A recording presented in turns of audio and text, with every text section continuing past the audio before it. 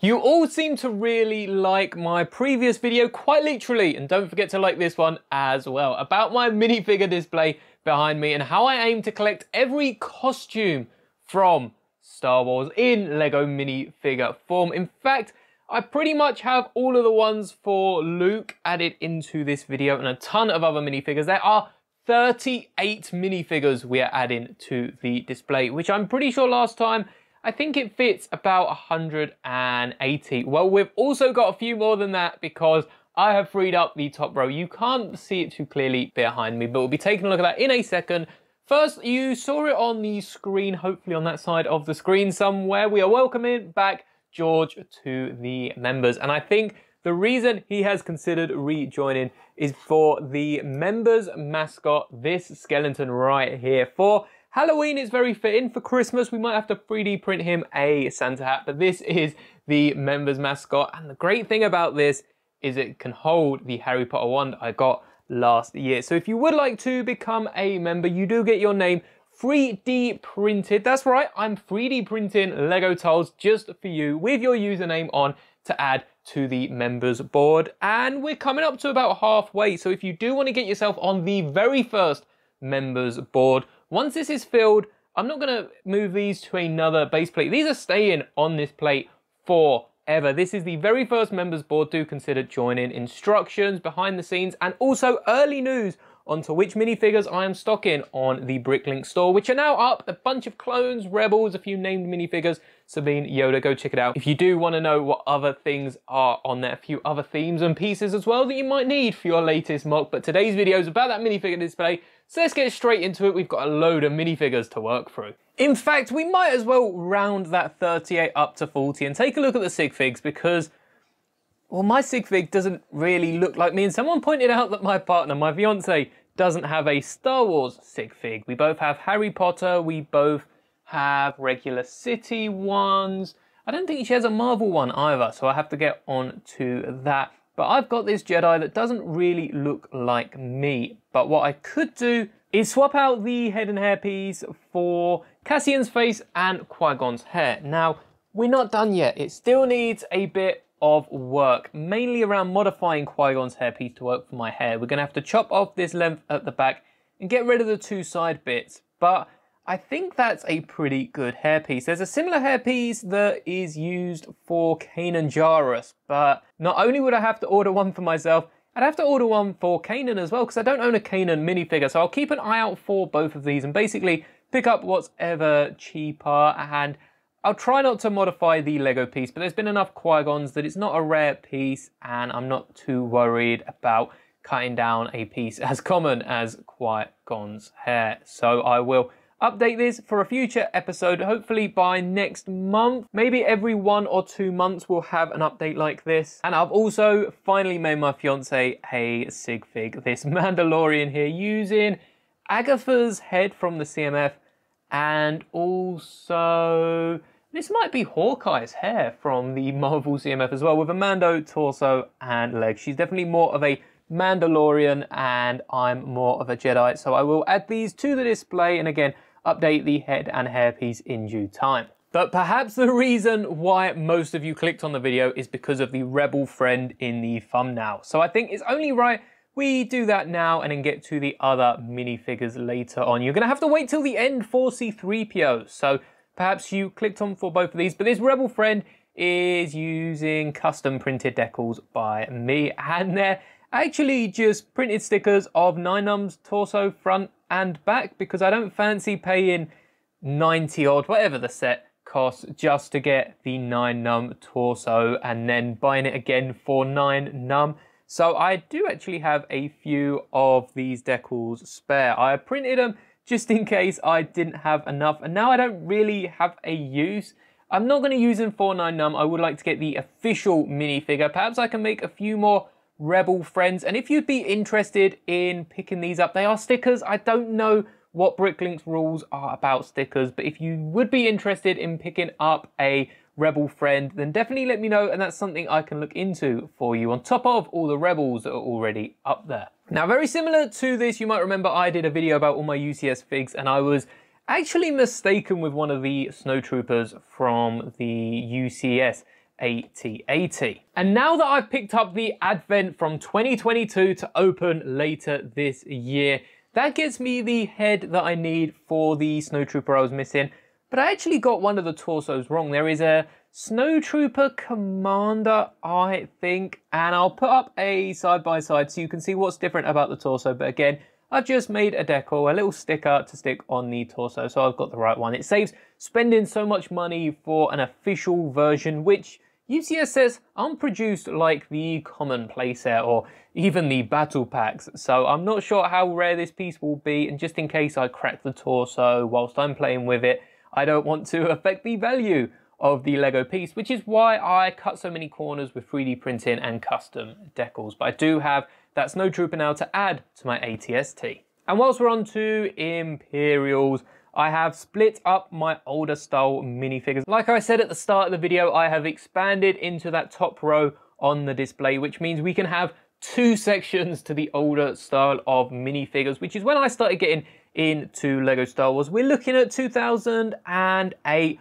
all the way up to I'd say 2012-ish time. I don't want to go too much past that because then I start getting a load of minifigures and I'm going to need a whole display case just for them. But I think that's quite a good region. Those first couple of years that I started getting into a Lego. And the brand new additions are the Imperial Droid up the front. We've also got the AT-AT driver and the Snowtrooper from Hoth. We've got the Scout, the Droid, and both the Sand Troopers on the right. Basically, everyone except for the top three figs on the left hand side. And the other half of the troopers have been added to a whole separate plate. So we've got our villains and now we have our heroes. The brand new are the other two X-Wing pilots. Dak Ralter at the top and Porkins, I believe. Again, there'll be corrections in the comments if I am wrong. You'll notice Sassy's droid has also joined the gang. R3D5, if memory serves me correct, and then we got R2QT at the top, which is made using stickers, which I am gonna show you a bit closer up because it's really hard to get that dome piece. These are only holding on by one leg on the display, but it was really hard to get a sticker on that dome piece. I've just used screenshots from the Lego Skywalker Saga game because that's the best material I think we've got, and they could definitely be made better. I could render these in some sort of art style, make the background translucent, but the hardest piece is that dome, and I completely understand why LEGO normally give us printed pieces or just leave out stickers in general when they're talking about domes. Speaking of which, we do have a look at the brand new droid meant to come in Ahsoka's Starfighter next year. So if you'd like to take a little look at that. I'm sure you can find it on the internet somewhere, but there are images up on the members Discord. I've also added the 20th anniversary minifigures as well, and you can see Vader's helmet is hovering above his minifigure. But again, a combination of printed parts and 3D elements because no store had any more than one or two of the pieces I was missing. So we do have Han Solo here, who I don't have the official minifigure for. You can see that sticker head. There's a funny story behind the stickers actually for these minifigures that members will be getting a behind the scenes look into in a probably about a week or so. So stay tuned for that. And again, do consider becoming a member if you're interested in the behind the scenes of 3D printing of stickers and everything else on this channel. Vader's looking pretty good. That helmet, completely 3D printing. Again, I'm going to mention that in the behind the scenes video. And then we've got Lando Calrissian as well, who is another minifigure that is a combination of decals and 3D printing. You can see sticker face and the 3D printed hair, which again, it took a couple of attempts to get right, but I'm happy with how we've ended off. Now we're getting into the actual minifigures that I'm adding to my display here. So I'm gonna add these on at a later time. It's just easier to show you the one figure than show you them mixed in with the nine. And I know there is going to be some questions about why I don't have a blue milk Luke. Well, I actually have so many of these Farm Boy Lukes. I think Homer's using a torso and legs. I've used a torso and legs for one of my space minifigures so that I can add them to other minifigures. Uh, we've got the official one on the display already with a poncho and I'm sure you'll see the parts floating around elsewhere. So I have created another decal for the face you can only really see it when the light hits the corner as it rounds off that it is in fact a sticker. I can even trick myself sometimes looking at this, but this is a decal for the face of Blue Milk Luke, just to say that I've got some sort of version. I don't really fancy paying all that money to get an official head, let alone an official minifigure, and really wasn't interested in this edition when the game came out because it's so much cheaper on the computer. But I now do own a Blue Milk Luke.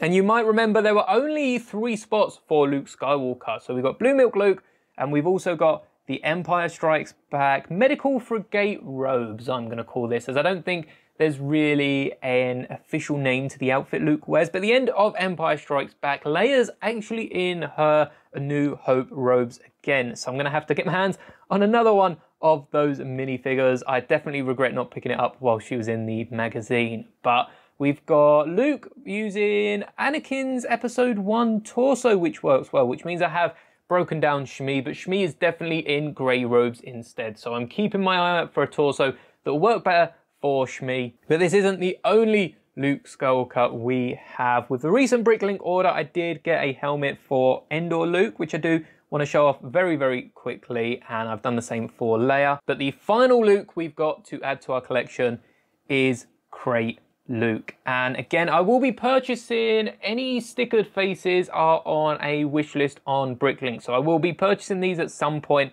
but they are considering placeholders for the official thing. This torso taken straight out of the Skywalker saga once again. I was considering using one from Red Skull in one of the Marvel Mighty Micros sets, but it had a brown belt and this just looks so much better. I do want to get some dual molded legs for a few of these minifigures, including the Endor ones, but we have a crate Luke to add on display and from afar these decals do look really nice. I feel like I'm pronouncing that differently every time I say the word. Like I said, the only update to Leia is the helmet on the Endor minifigure, freeing up the hairpiece for a general Leia Organa, which is basically the same outfit just without the green poncho. I would like to get Legolas's legs for this minifigure as well. Right now they're like 10, 15 pounds for just the legs. You're better off trying to buy the minifigure. Or better yet, maybe one day we will own Rivendell. There are rumours for another Lord of the Rings set next year. So there is still hope of me picking up a Lord of the Rings set eventually, and hopefully it includes Legolas. Han is very similar, only one mini. Actually, there's two minifigures. We've got young Han here, who is from the Padawan Menace. I think last time I said Yoda Chronicles, I get the animated shows mixed up and I don't really know exactly what I'm talking about. I definitely need to give them a re-watch, but this is the young Han with the dark tan legs, accurate to the minifigure, different head and hair piece, but it looks close enough for my display and maybe one day we'll own the official minifigure. But I completely forgot about an iconic Han costume last time I made this video. The Carbonite block. I can't believe I forgot about Han in Carbonite. I don't know how I did, but I will be adding this to my display as well and we'll take a look towards the end of the video. You might have also seen the shot of my Shadows of the Empire Lando Calrissian and I've given him a helmet because I don't have enough heads and hair pieces, but I'm gonna try and bulk order a few of those Greef Karga heads that everyone was saying would be great for Lando, and there was also a few other celebrities that they'd be good for that I saw in the comments. But for now, a helmet's gonna have to do. Palpatine's got two new minifigures. We first got off Snoke because he is a clone of Palpatine and it does kind of make sense. And there are a ton of other minifigures. I'll try and fill in the gaps for all these characters when I've added the minifigures to their display. But I first got to give a shout out to one of our members over on the Discord, Soybean, for the idea for the next minifigure. Now, if you've played Battlefront 2, you'll know what Sentinels are, or if you've read the Aftermath trilogy, which I cannot recommend enough, you'll know Sentinels are these droids that were programmed to basically allow Palpatine to keep giving orders, and for all we know, with him now surviving, this could have just been a Skype call or a fancy Star Wars FaceTime, and Soybean created this minifigure, which they shared over in the members Discord, and I knew straight away I had to do it. But I didn't own the neck armor from the Ninjago minifigure in that red color.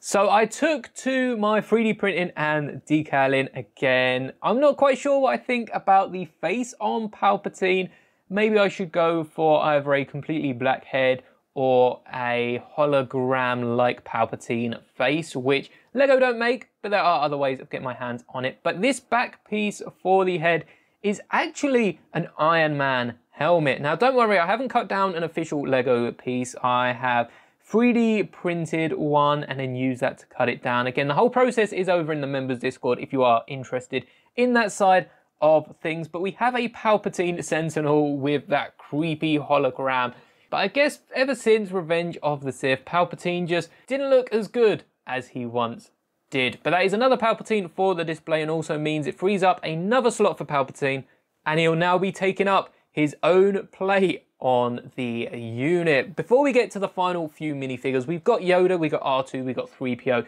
and then I'll show them on display. I would like to mention, I'm thinking of changing how we display the minifigures. At the minute, there is minifigures at the front, we skip a stud, then minifigures, we skip a stud, then minifigures, and the back one is empty. I'm thinking of adding some bricks on the front one, and then maybe using some jumper plates on the one behind it to get that half a stud distance, just for any backpacks and accessories minifigures might have, or any weapons like the anniversary minifigures. Speaking of, they'll be fine because there's not enough to fit. But just so we can fit a few more than 200 and whatever it is minifigures we can fit at the minute. We would be adding another row and pushing up to that 300 minifigure mark. And really, right now, we need all the space we can get. So if you think you've got the perfect layout for this base plate, let me know over in the members Discord or in the comments of this video. And I'm very interested to see what ideas we come up with. But for Yoda, we have the Old Republic. I wasn't going to include him last time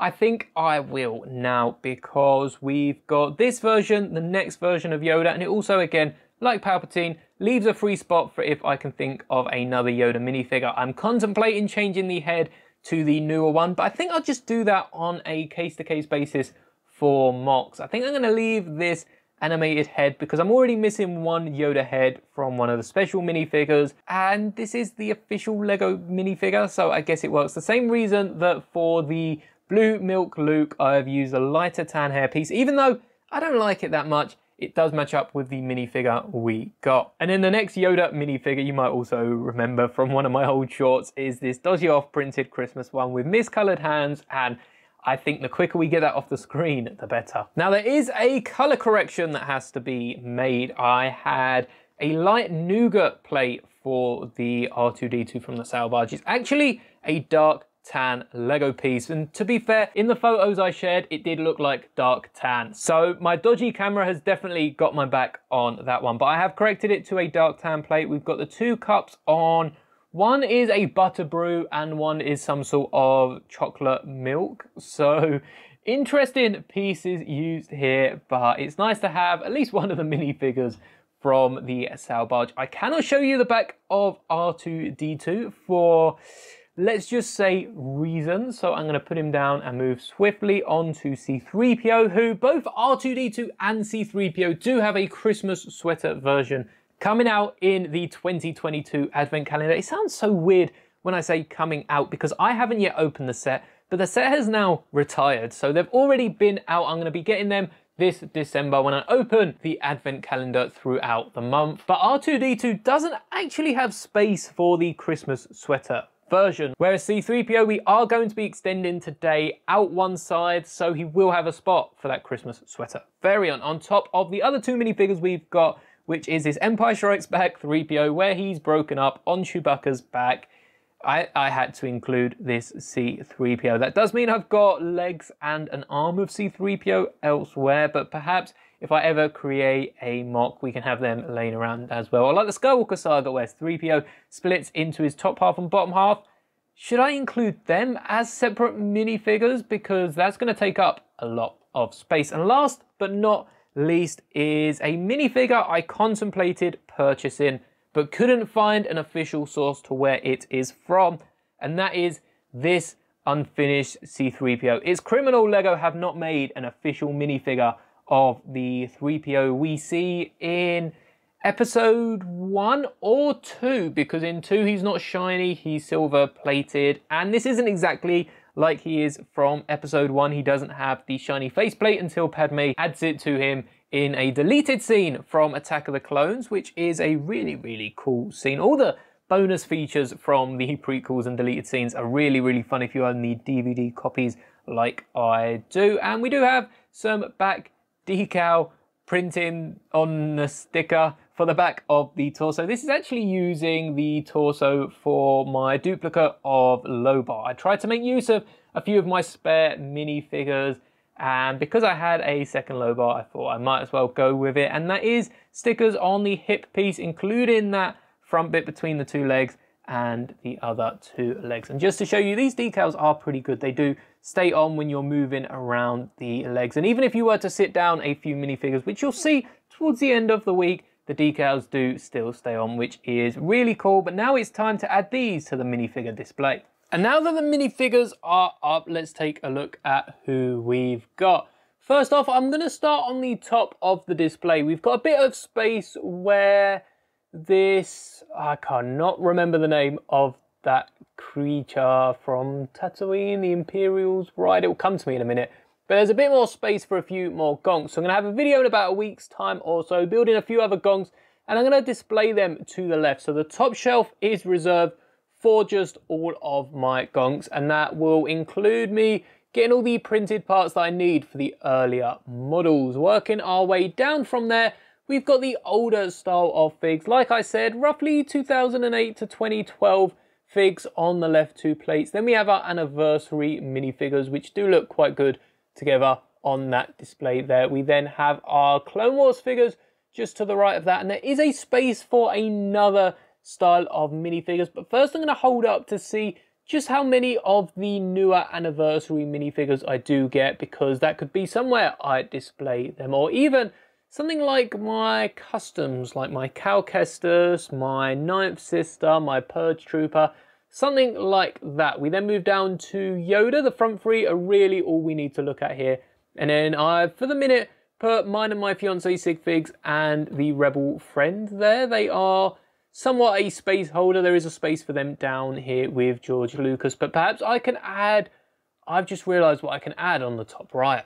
So top right, I have added my minifigures behind the helmets. We have Anthony Daniels, Kenny Baker, we have Jeremy Bulloch and Peter Mayhew alongside George Lucas himself. There are a few upgrades I can make to these minifigures. They're built mostly using spare parts, but they do definitely fill that gap. And now we get on to our Star Wars characters. First up, Padme, Windu, Mandos, and even Boba at the end of this row. No changes. There'll be at least a minifigure for Padme next week. There's a spot for Windu because the UCS gunship version does have sand on his torso from Geonosis. I'm not really looking at getting it. Similar with the next row, no sequel updates here, no Ahsoka changes, and I have a few minifigures, like I said, about the Christmas sweater still in the advent box, still completely new, untouched, and another 3PO from the magazine that I'm using for another video that will hopefully be out tomorrow. We've had the updated color to R2-D2 and again no other changes on that row. The Maul that's missing from there is currently on a diorama. We move down to Han Solo. We finally have a Carbonite Han and a young Han over on the left hand side as well, just hiding behind another young Han from Solo. The minifigures that I'm missing is, I remember the Solo one is the fur coat and the non-muddy mud trooper. And then we have, there's another one. I don't remember what the other one is. Oh, it's, it's the regular Han Solo, not that outfit, but there's another one with goggles. And then we do have, I want to get the Return of the Jedi, which is the mixed match that I said about last video.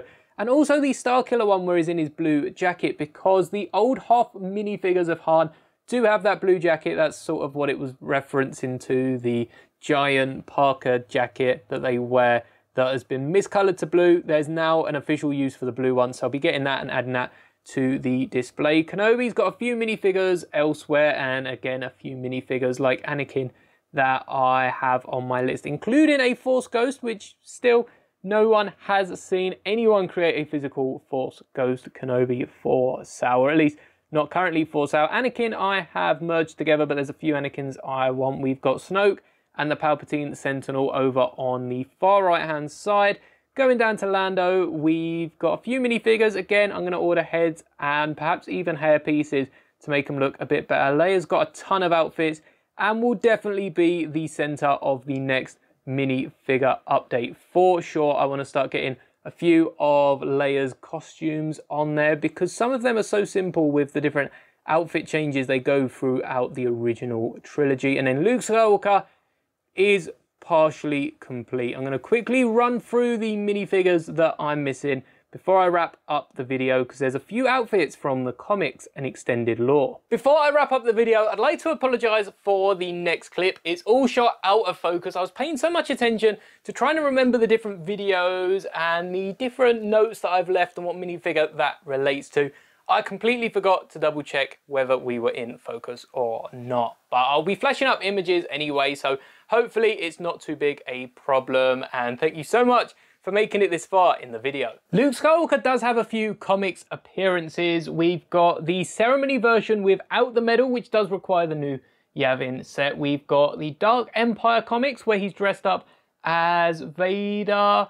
Although we kind of have a minifigure of him in Vader's robes from Empire Strikes Back. It's slightly different. There's no chest piece to Luke. It's just the actual robes of Vader. That'll be interesting how I get that done. I could always rub out one of Vader's torsos, but I'm trying to not damage Lego bricks in trying to make these minifigures here. Only when I really have to.